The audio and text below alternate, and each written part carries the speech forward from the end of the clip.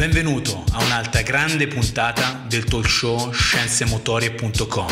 E bisogna andare un po' indietro negli anni per parlare dei miei, dei miei inizi per quanto riguarda questa passione forte rivolta alle attività motorie in generale.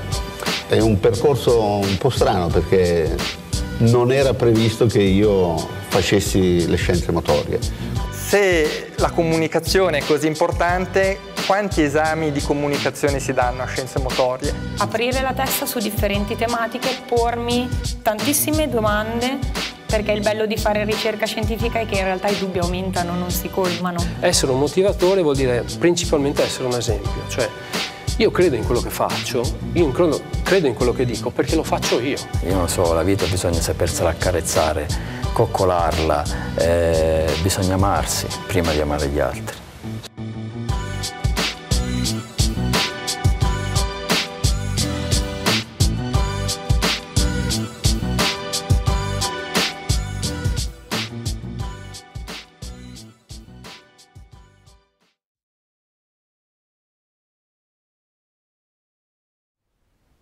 Benvenuti a un'altra grande puntata del talk scienzemotorie.com, oggi in compagnia di un grandissimo ospite, Giorgio Gatta, benvenuto Giorgio. Ciao, grazie. Giorgio è un dottore di scienze motorie, un eh, docente e ricercatore presso la scuola di Bologna, corretto? Corretto. Allora, in questo spazio Giorgio parliamo con professionisti delle scienze motorie, eh, con ricercatori, come nel tuo caso, per eh, trasferire delle idee, delle informazioni e far conoscere un percorso lo facciamo per destrutturare l'aspetto psicologico e lo facciamo condividendo un ottimo te. La prima domanda dalla quale partiamo è come è iniziato il tuo percorso nelle scienze motorie? Beh, penso che l'avvicinamento allo sport è una passione che ci ha legato tutti e ci ha portato a vivere questa attività col sogno di diventare atleti, allenatori. Il mio percorso in particolare è passato da un atleta di medio livello, io ho iniziato col canottaggio, ma sono di Ravenna, quindi l'acqua ha un po' accompagnato tutte le mie attività sportive. Diciamo che io eh, già al secondo anno di ISEF lasciavo l'attività di atleta per dedicarmi più all'insegnamento e quindi diventare allenatore, prima nell'ambito appunto del canottaggio dove purtroppo fisicamente non avevo non avevo talento e possibilità per competere con atleti, ancora non esistevano i pesi leggeri, quindi io dovevo gareggiare con atleti di un certo livello, quindi per me era, era una sfida cercare di allenarsi sempre meglio, cercare di avere una tecnica sempre più evoluta per poter competere, altrimenti non c'era strada. Questa è rimasta un po' la spinta che mi ha portato invece a fare l'allenatore e rimanere principalmente nel mondo dell'acqua che ho seguito sia nella pallanuoto che nel nuoto fino a portarla, a farla diventare proprio la mia attività lavorativa una volta entrato all'università.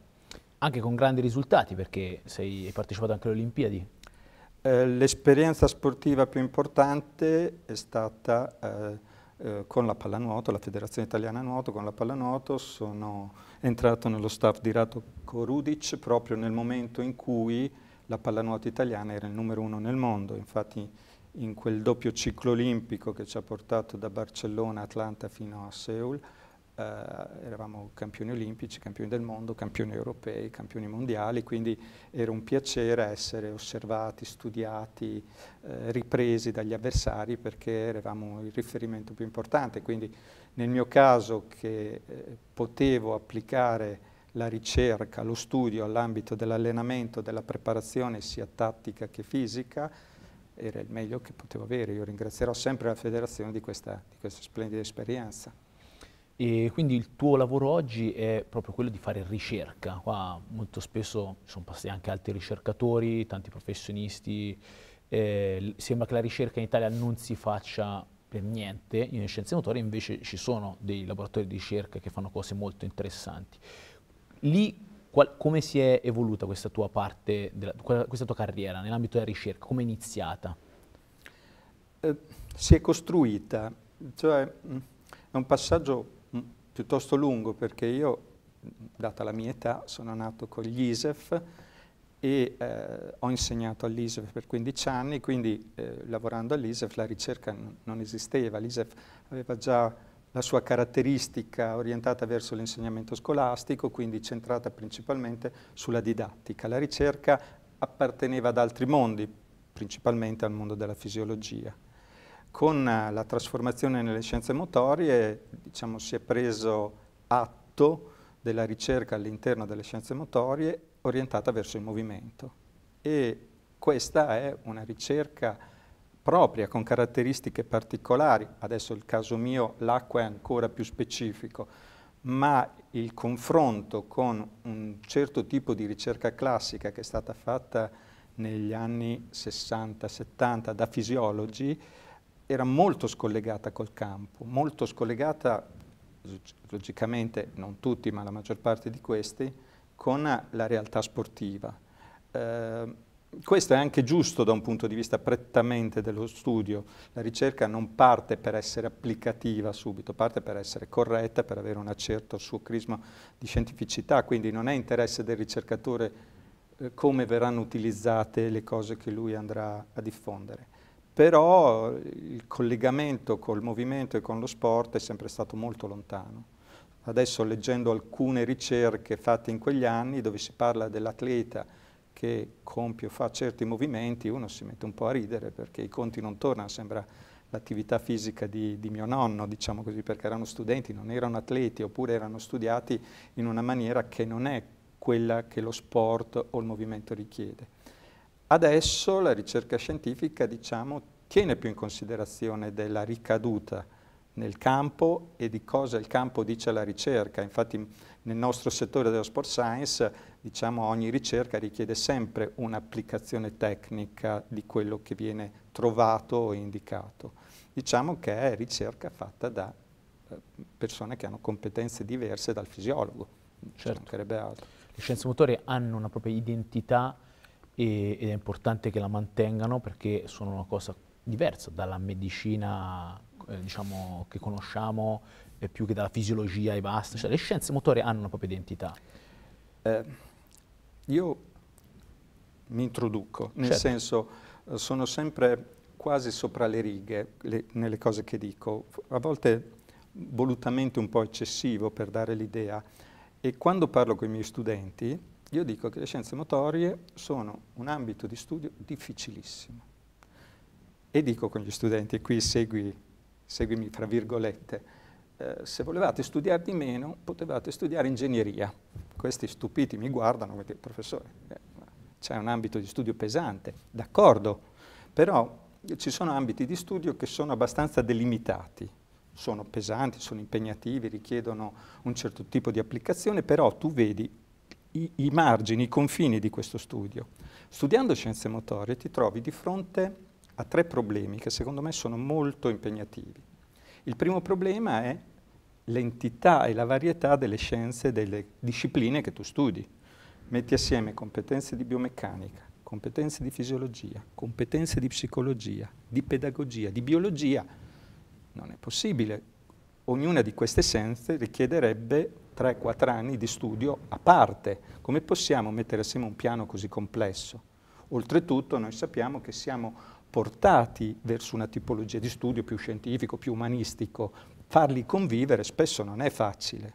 È un po' come creare mh, dei professionisti incompleti che dopo nell'ambito del lavoro cercano le soluzioni ai loro problemi dove si sentono più forti. Nell'ambito sportivo è facile sentire nelle discussioni che eh, a seconda del tipo di preparazione un tecnico dice sì ma la tecnica è fondamentale poi ne arriva un altro e dice ma non avevano la preparazione fisica perché è il suo campo dove è più ricco di commenti e di approfondimenti. Poi arriva un altro e dice sì ma la testa, la preparazione psicologica e quindi non, non riuscendo a assemblare una complessità di elementi simili si rischia molto spesso di rimanere spezzettati.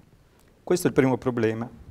Il secondo problema è che molto spesso quello che si studia nelle scienze motorie è proprio al limite della ricerca sul campo. Cioè sul campo si vengono a verificare situazioni che ancora non sono spiegate da un punto di vista scientifico. Quando un atleta arriva sull'asticella e si gira di schiena per andare di là, non gliel'ha detto la ricerca scientifica di far così, l'ha vissuto sulla sua pelle, sull'esperienza, sull'allenamento.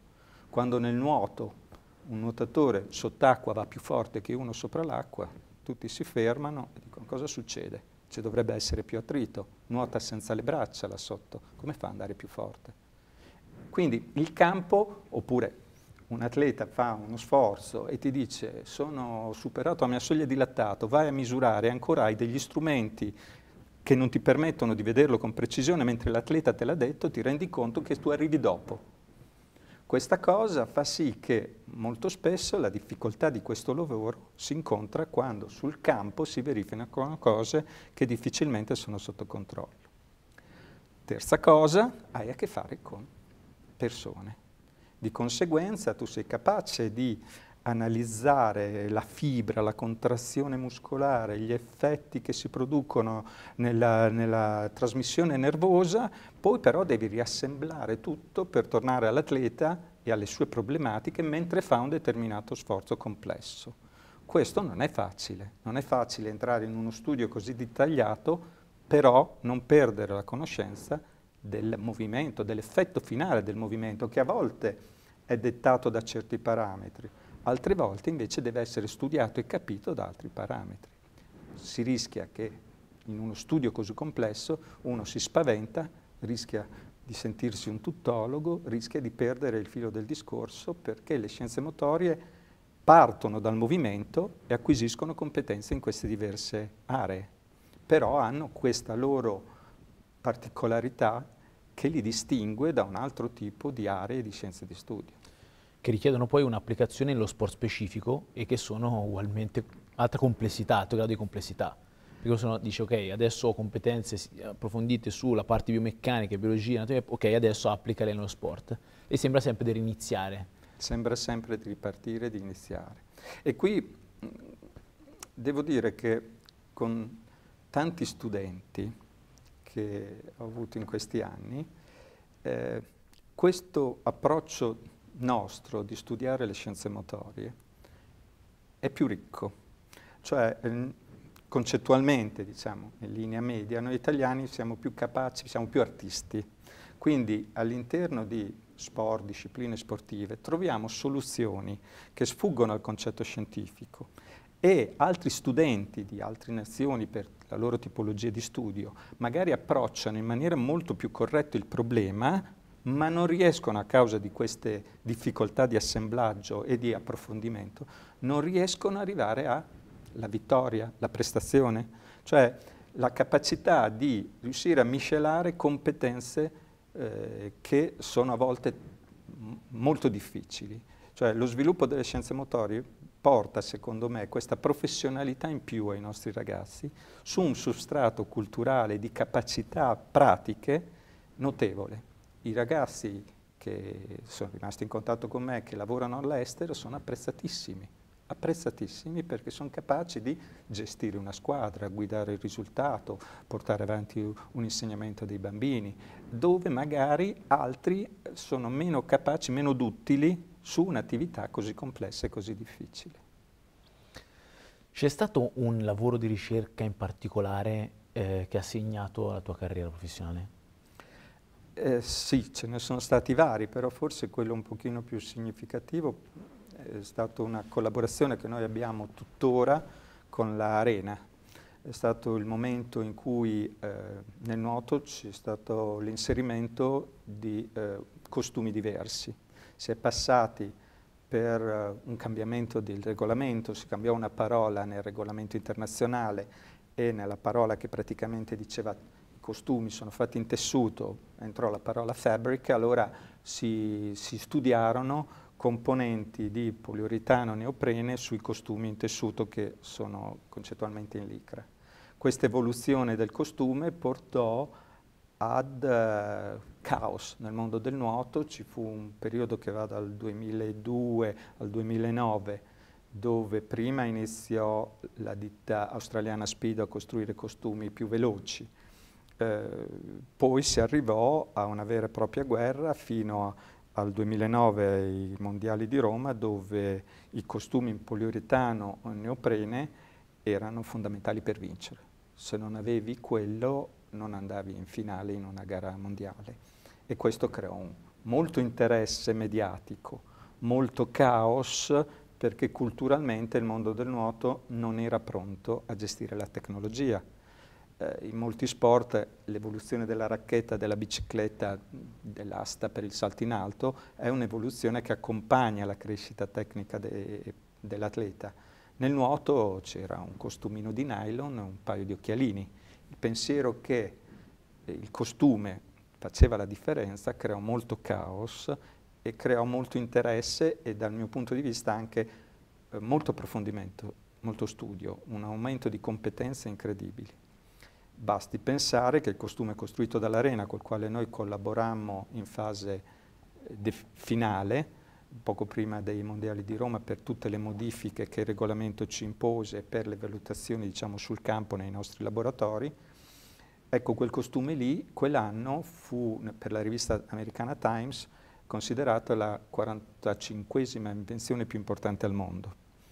E se si pensa che al primo posto c'era un vaccino sull'AIDS, al secondo posto una strumentazione tecnologica su un'astronave, pensare che al 45 posto c'era un costume da bagno fa sorridere, però l'idea che con un costume non si trovava dove era il motore, ma se te lo indossavi andavi due secondi più veloce sui 100 era impressionante. Quello fu un momento eh, particolare sia per la ricerca che si mise le mani nei capelli perché come al solito eh, uno non si veste per andare più forte. Il nuotatore nei tempi passati si svestiva, e allora moralmente tutti si arrabbiarono quando Tarzan, che aveva i costumi di lana, sei tolce, poi si rasò i peli per andare più forte, lì ci fu un po' di scandalo. Quando l'uomo cominciò a vestirsi con costumi lunghi alla gamba e al petto per andare più forte, sembrò strano. Poi la federazione dovette intervenire perché si crearono delle situazioni di completa ignoranza e caos e quindi c'erano delle disparità, logicamente bisognava avere il costume, era diventato un elemento discriminante eh, la qualità del nuotatore stesso.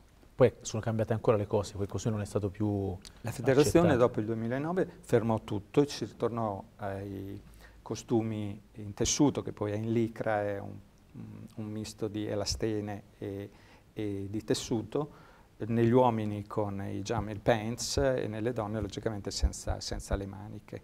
Questo per riequilibrare una situazione di caos che si era creata fra i nuotatori stessi, poi i costumi erano scomodi da mettere, ci voleva molto tempo, eh, erano strettissimi, addirittura i nuotatori se ne mettevano una taglia più piccola o due taglie più piccole, a volte due costumi uno sopra l'altro che non era neanche permesso dal regolamento questo per avere degli effetti di compressione impressionanti.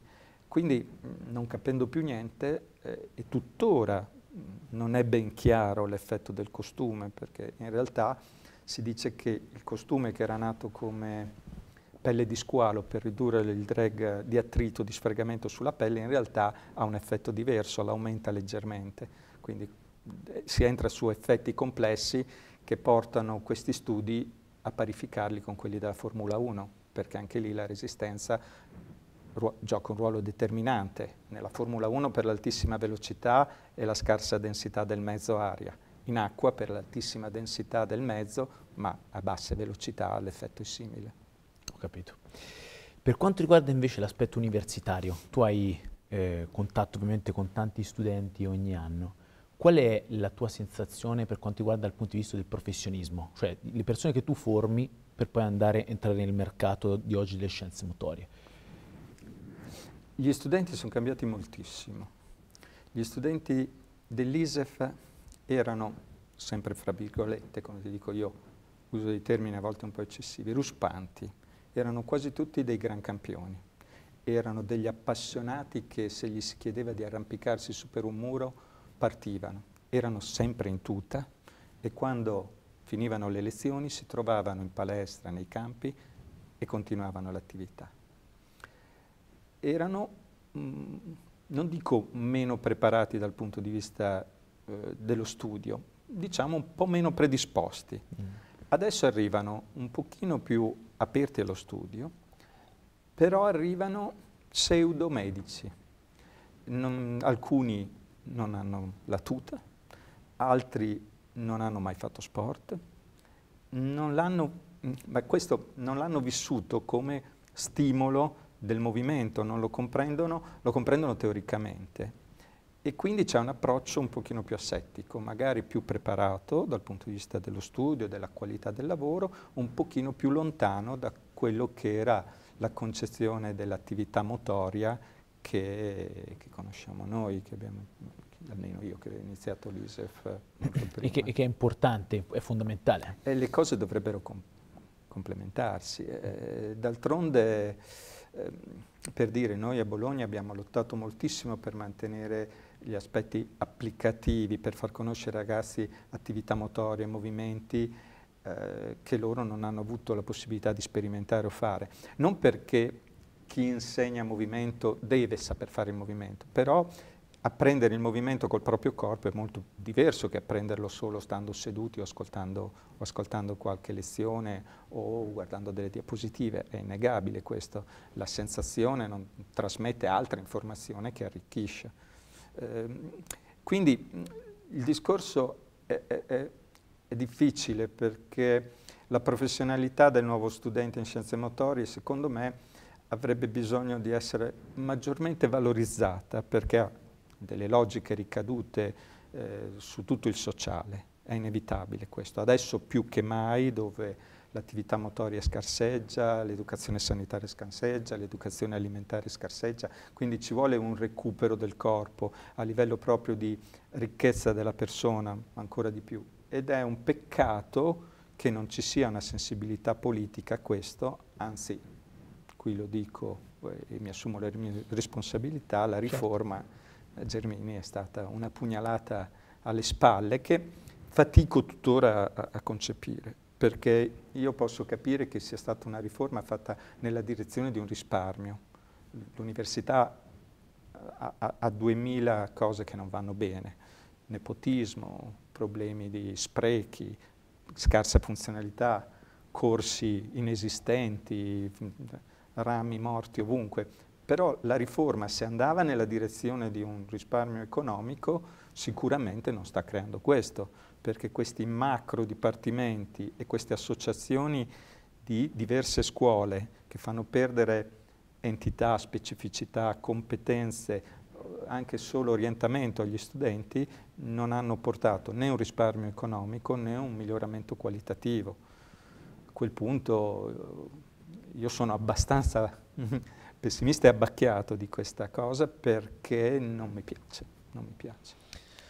Perché mh, sicuramente non c'è l'interesse vero di chi promuove queste cose a, a, a farle crescere, a, far, a, dar luce alle scienze motorie e dall'altra parte c'è chi invece protegge altre eh, tipologie di, di business a, eh, a, fronte di una crescita delle scienze motorie.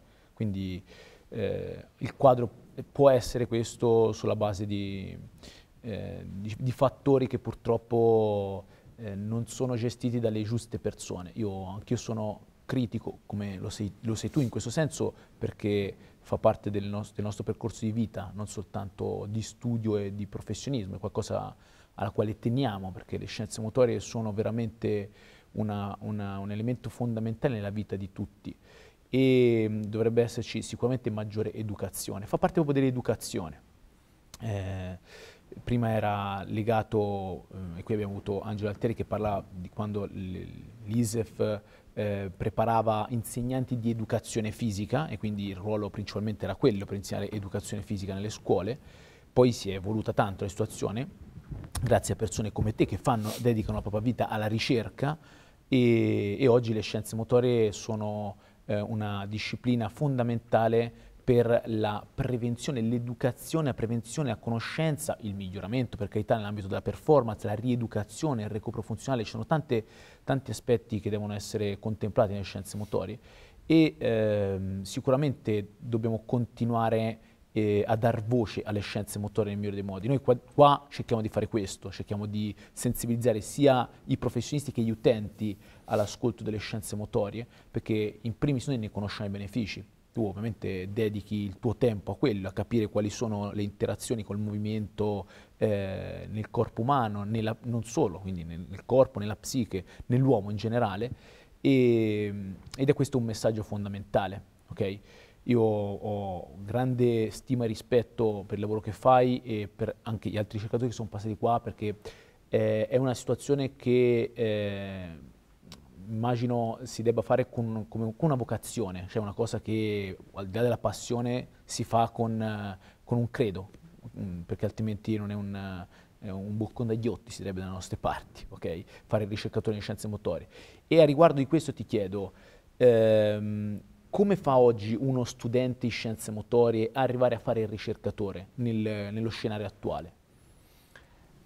Eh, con eh, i tagli dei fondi le possibilità si sono ridotte molto e logicamente i pochi che riescono a intraprendere la strada eh, incontrano ulteriori difficoltà.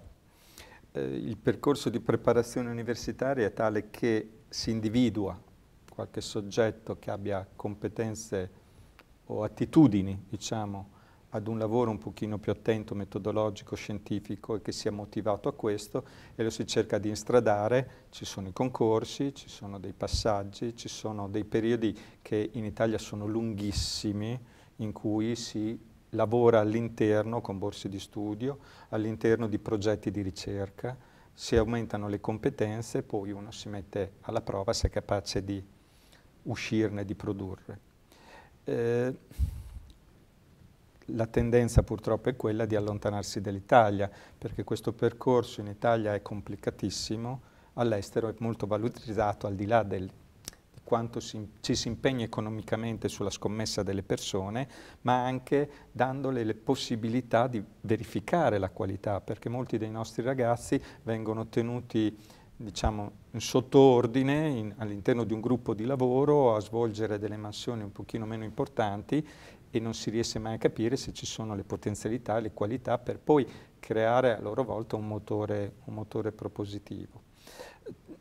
La cosa, ti dico, io sono stato abbastanza fortunato perché ehm, sono entrato tardi all'università, però non sono entrato eh, all'interno di un gruppo, quindi non avevo un ordinario, un associato che mi imponevano noi studiamo questo, fai questo, adesso svolgi un certo lavoro di seconda, di seconda importanza, poi vediamo se vale.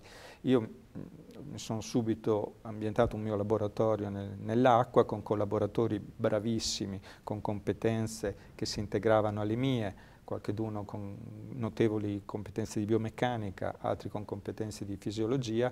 Io portavo di mio molto l'attività, l'acqua nel senso, quindi davo un senso di raccordo a tutto questo e siamo riusciti a produrre e farci un'area nostra di conoscenza sia nell'ambito rieducativo che nell'ambito sportivo. Però eh, vedo i ragazzi giovani faticano moltissimo a uscire perché il sistema non è pronto a questo e i più bravi purtroppo si allontanano. Logicamente anche qui il sistema non è funzionale, la differenza poi la fanno le persone laddove in un gruppo di ricerca ci sono personaggi validi che ti valorizzano e ti fanno iniziare questa strada, si vedono poi eccellenze, perché nei nostri campi, come dicevo prima, i nostri studenti sono bravi, quelli che vengono fuori, quelli che hanno dei numeri, sono veramente bravi.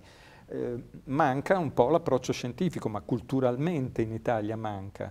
Cioè l'allenatore da noi prima è un mago, poi dopo diventa un professionista, quando studia, quando anche da solo si vuole approfondire, va a fare corsi, segue, fa e guadagna competenze, ma di base nasce con delle, quasi delle capacità di analisi sue superiori o di valutazione dell'atleta, della tecnica, che fuoriescono magari da freddi modelli di valutazione. Quindi è una strada che vive un pochino il compromesso. Poi ultimamente, ripeto, la riforma, accorpando così, ha fatto sì che eh, ex facoltà un pochino più deboli vengono mangiate da più forti, quindi quei ragazzi che fanno domande di dottorato per quella specifica area sono sempre di meno perché vengono assorbiti nelle aree più forti, in ambito medicale o in ambiti. Il fatto che eh, si proiettino all'estero eh, dovrebbe far riflettere molto perché esistono dei modelli funzionanti e funzionali all'estero, anche in nazioni piuttosto vicine alla nostra. E a mio avviso basterebbe osservare come vengono introdotte le scienze motorie all'estero per essere poi riproposte nel nostro paese. E questa cosa che ancora oggi mi lascia sempre molto sorpreso che non venga fatto, cioè non è che stiamo inventando nulla, eh, stiamo semplicemente dando la forma a qualcosa che già esiste e che deve avere assolutamente un, una posizione nella società, nella comunità, per non gravare poi in tutto quello che è il percorso di un sistema eh, sanitario che ormai è veramente molto affaticato. Credo che questa è una mia opinione personale, poi ognuno ha la sua assolutamente. Eh, noi in Italia tendiamo a, a, a, volere il tutto subito più che a investire su... E, e nell'ambito della ricerca questo non funziona assolutamente, perché assolutamente si investe no. prima, si fa ricerca e poi vedremo i frutti della ricerca. E in Italia invece cerchiamo di avere tutto subito e questa cosa non funziona. È una mentalità che è stata sdoganata negli ultimi anni questo di dire adesso le cose stanno così, dopo ci penseranno gli altri. Questa cosa qui non costruisce, questo modello non costruisce perché per imparare ad essere un buon docente, un buon educatore, un buon ricercatore ci vogliono anni di lavoro, quindi di conseguenza io non posso subito cercare di fare qualcosa tanto dopo chi se ne frega. Questo non aiuta né me, non aiuta mio figlio, non aiuta quello che verrà dopo e purtroppo ma nel nel nostro ambito universitario eh, si vedono i riflessi di, di, del sociale, perché su tutti gli ambiti questo modello purtroppo viene portato avanti. Io vedo paladini della giustizia che combattono, che le, per, le, persone fanno la differenza, sono persone che hanno il piacere di fare il loro lavoro, che è l'elemento determinante, quindi ci credono, danno e producono, come molti personaggi che ho visto che tu hai hai intervistato qui, sui quali loro hanno investito moltissimo e sono degli esempi fondamentali per i nostri ragazzi. Però tutto attorno c'è una gran massa che spinge su chi te lo fa fare, perché fai così, chi se ne frega se i nostri ragazzi non hanno più l'attività sportiva che gli aiuta a crescere, gli aiuta a conoscere la vita, a lottare, a faticare, a migliorarsi, a star bene anche star bene fisicamente col proprio corpo, per trasmettere positività poi anche su tutti gli ambiti di lavoro di, di pubbliche relazioni. Assolutamente. Una domanda che faccio spesso è quella relativa ai mentori, perché per arrivare a questo grado di consapevolezza, questa tipologia di esperienza, eh, capita di trovare persone che interferiscono in maniera positiva anche nel percorso. Tu hai avuto dei mentori che ti hanno indirizzato o influenzato in maniera positiva?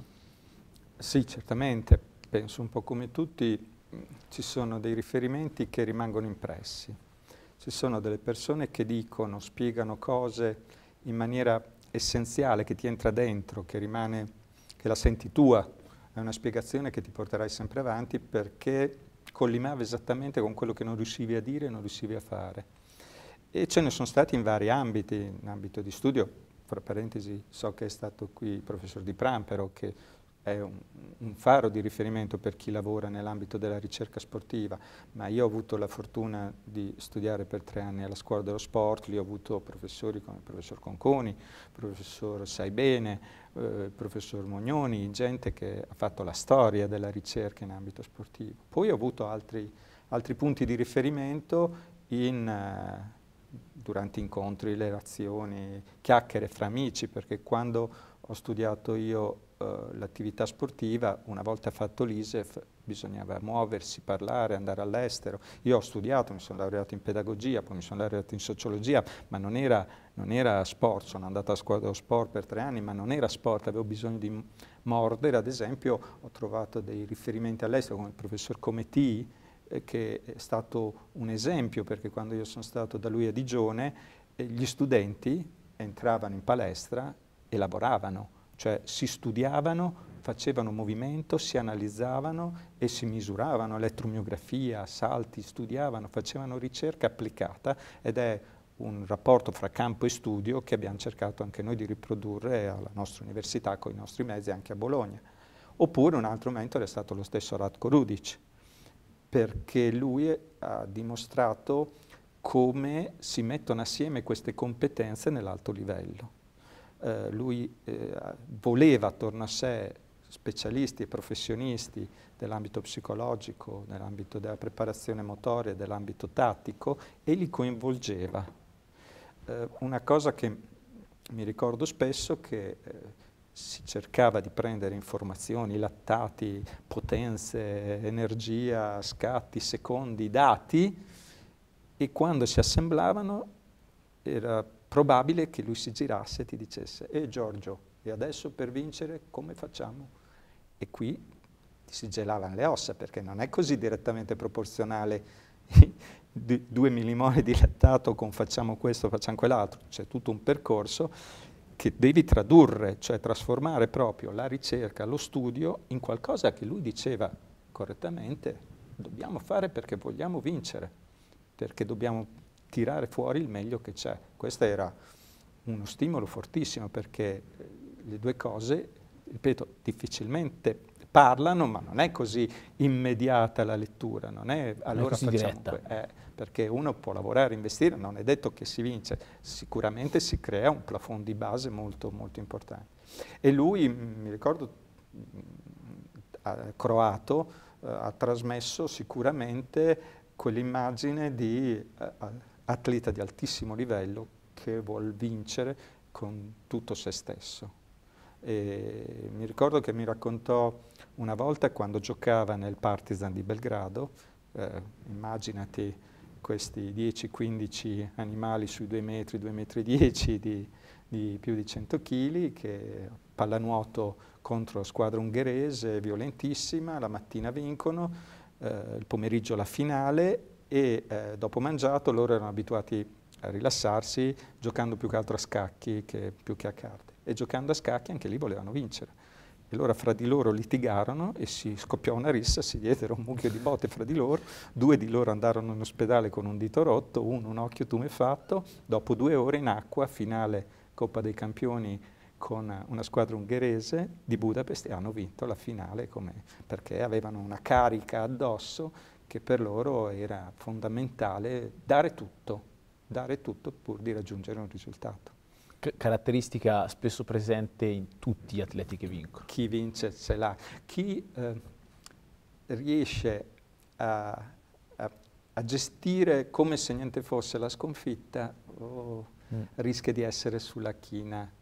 Io mm, mi ricordo, io ho avuto anche l'esperienza scacchistica per dire, secondo me questa, il gioco degli scacchi è molto simile, perché dopo che tu sei un paio d'ore che analizzi una posizione, per cercare di trovare una superiorità e arrivi a un certo punto che non la trovi e devi tornare indietro per rianalizzare, quando dici ma dai lo stesso, tanto non la vede, hm? hai perso, perché non hai più la forza di rimetterti in gioco, perché fatica, è stress, è, è terribile, se ce l'hai sarai un vincitore. Se a quel punto dici ma sì è lo stesso, incominci a diventare un perdente. Questo logicamente stiamo parlando di sport eh, ad altissimo livello dove lo sportivo ad alto livello è un altro animale, è un animale da combattimento. Io sono estremamente affascinato essendo stato uno sportivo, essendo ancora oggi uno sportivo, diciamo, essendo stato un atleta e essendo oggi uno sportivo, di eh, scovare quelle caratteristiche della performance, dell'alta performance, nella parte sia di strategia che di motivazione, che sono queste, no? quelle caratteristiche che parlavi, per poi poterle riutilizzare in determinati contesti della vita, ok? Perché eh, sono molto affini ed è per questo che lo sport ci può insegnare a essere migliori anche in altri ambiti. E questa è la mia esperienza, quindi sempre un'opinione mia. Quando ho conosciuto eh, ehm, atleti vincenti, che sono sempre stati vincenti sono, e hanno applicato quel modello di pensiero ad altri contesti vita, hanno sempre ottenuto grossi risultati. E questo è, è fenomenale. Ed è per questo che un punto in più, le scienze motorie hanno un, un ruolo fondamentale nel, nella vita delle persone per estrarre proprio le strategie, sia da un punto di vista scientifico, di conoscenza, ma anche di strategia, perché possano essere applicate, possano educare, migliorare eh, l'essere umano in generale. Quindi è, è, una, è, una, scoperta, anche perché, per carità, le scienze motorie, eh, ora tu sei, sono molti anni che sei impegnato, detto, sia dal percorso ISEF che con le scienze motorie, sono comunque sia abbastanza recenti, no? diciamo così, eh, rispetto ad altri percorsi di studio. E c'è tanto da fare, questo può essere una caratteristica in positivo per motivare chi oggi si trova eh, in, questo, in, questo, ambiente e ha voglia di, di fare bene in questo lavoro, ha questa passione, perché senza dubbio questo è un lavoro che senza passione non si fa, si, o, o me si fa veramente molto male.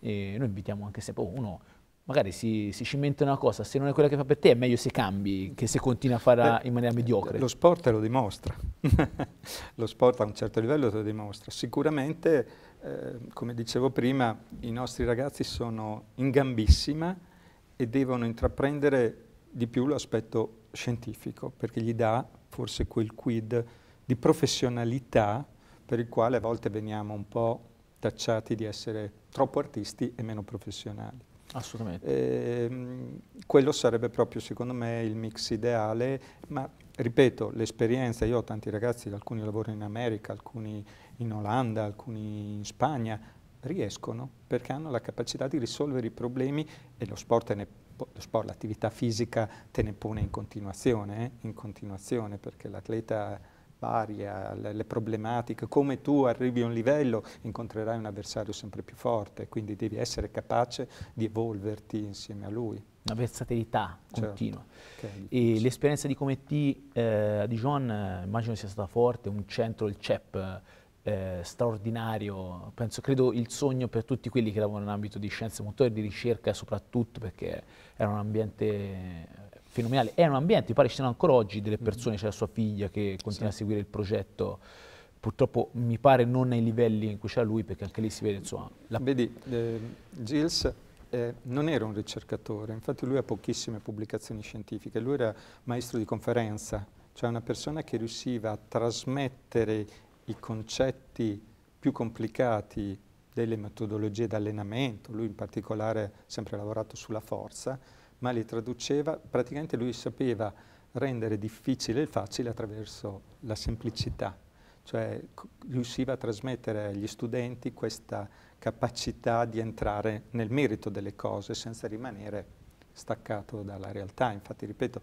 mi colpì moltissimo quando, ormai sono passati quasi 30 anni, quando a Digione vidi come lavoravano voi, loro rispetto al mio vecchio ISEF dove facevamo gli esercizi in palestra o in piscina, facevamo le progressioni natatorie. Loro avevano un approccio dove non c'era, c'era meno didattica ma molto più approccio scientifico sportivo. Poi a Digione, come in tutti i centri francesi, tu saprai meglio di me, eh, lì c'era la nazionale d'atletica leggera, c'era Gunther, i lanciatori che si allenavano lì, quindi gli, i ragazzi avevano sempre questi riferimenti poi di atleti di altissima qualità da poter vedere e, e studiare.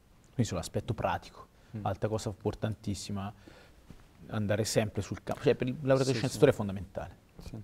fondamentale, essere una persona versatile e stare con le persone. Ecco, caratteristica, sono delle caratteristiche comuni, no? Di scienze motorie è una persona che eh, deve avere, per, per, per, eccellere, per forza, deve amare stare con le persone, perché altrimenti... Questo collegamento arricchisce tutti e due, l'aspetto scientifico e l'aspetto applicativo da campo. È difficilissimo, è difficilissimo, ma come si riesce a avere osmosi, il livello sale, sale tantissimo come ti dico, noi in modo specifico lavoriamo con atleti di altissimo livello, adesso lavoriamo con la nazionale di nuoto, testiamo i velocisti in preparazione delle Olimpiadi di Rio e è difficilissimo perché più l'analisi è dettagliata, più è complessa da portare sull'allenamento, perché noi parliamo di watt, parliamo di newton, parliamo di idrodinamica, L'allenatore ha bisogno che questo, queste, queste, competenze siano tradotte in esercizi,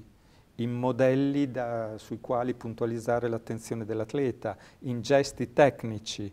La cosa, come dicevamo prima con l'esperienza della pallanuoto, non è così scontata, non è così facile, ma è l'elemento che poi ti determina il risultato. Io credo abbiamo detto un sacco di cose, hai portato tanto valore al talk, alle persone che ci stanno seguendo, sicuramente riuscendo anche a delineare quelle che sono le caratteristiche eh, indispensabili per emergere nel contesto delle scienze motorie e per avvicinarsi anche con una, un approccio eh, scientifico e professionale.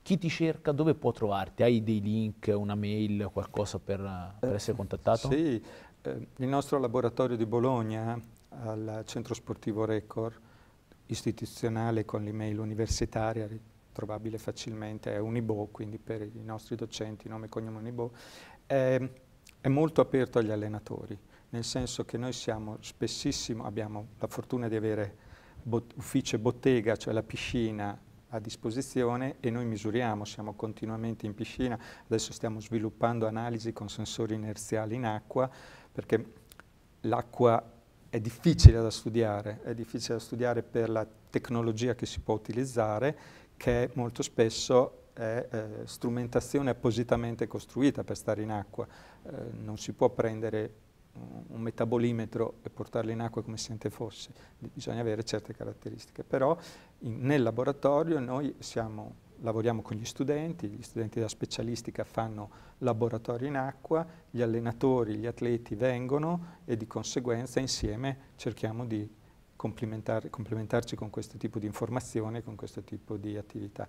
Eh, noi addirittura adesso a fine mese avremo eh, il 29 un convegno che poi ha organizzato il comitato regionale della FIN, dove ci sarà una parte eh, teorica la mattina, dove abbiamo anche dei relatori, verrà un, un allenatore portoghese, un ricercatore mm -hmm. portoghese. Pomeriggio però andremo in acqua, quindi faremo in acqua delle cose utilizzando strumenti, valutazione funzionale, spiegando come gli allenatori possono a loro volta ripetere queste cose nelle loro realtà con strumentazioni diverse, l'importante è che usino quelle procedure che a volte vengono un po' lasciate, perché guarda nel mondo del nuoto purtroppo l'allenatore è sposato col cronometro e col cronometro crede di risolvere tutti i problemi. Invece il nuoto, la prestazione del nuotatore dipende da diversi fattori guardando il cronometro guardi il risultato finale, ma non sai come cambiano i fattori all'interno.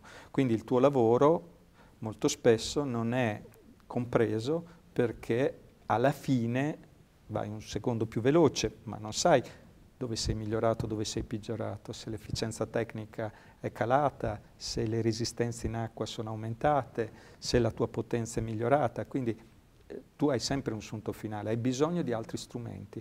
Io dico sempre, e anche qui ripeto sono piuttosto aggressivo, il nuoto è l'età della pietra. È l'età della pietra perché in acqua ancora non siamo in grado di valutare bene molte cose e poi lo dimostrano i risultati stessi, ad ogni manifestazione i record crollano con discreta facilità, se facciamo un confronto con l'atletica leggera dove i record sono piuttosto stabili, nel nuoto ai mondiali 5, 6, 7 record del mondo, a parte il tempo dei costumi dove venivano giù come brustoline. Però eh, vuol dire che siamo in evoluzione. Se si pensa che l'efficienza propulsiva del nuoto è a livello del 60%, vuol dire che nella corsa il 98, 97, 98%, vuol dire che eh, tu, quello, del potenziale che abbiamo ne usiamo solo la metà. Questo è impressionante in uno sport così. Quando riusciamo a usarne di più, e succede quotidianamente, si migliorerà moltissimo, moltissimo. Di conseguenza stiamo evolvendoci in questa direzione. Quindi un'ulteriore sfida per chi oggi è impegnato nel campo pratico, nel nuoto, nella ricerca e sicuramente che può entrare in contatto con te che sei un pioniere Sarà in questo. Sarà un piacere. Io ti ringrazio di essere stato qua Giorgio e sono, ripeto, certo che ci siano state tante informazioni di cui abbiamo parlato, molto utili a tutti quelli che ci hanno seguito. Spero ci siano altri momenti di confronto. l'evento di cui hai parlato sarà annesso all'articolo che ti presenterà, quello del 29, e quindi ti ringrazio ancora di essere stato qua.